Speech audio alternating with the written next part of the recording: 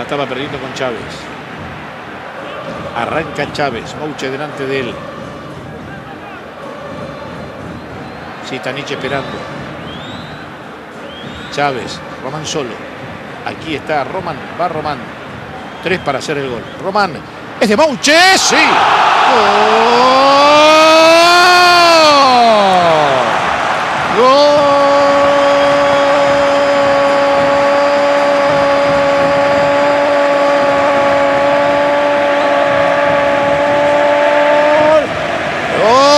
Boca.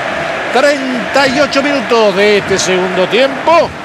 Pablito Mouche. Boca más líder que nunca. Boca 3.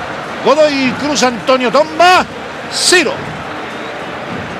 Un partido que ya hace rato no tiene equivalencias, que se jugó al ritmo que quiso Boca. El resultado nunca estuvo en riesgo. 4 contra 4. La pelota va de derecha a izquierda hasta que llega a los pies de Riquelme que otra vez vuelve a disfrutar de un pase gol.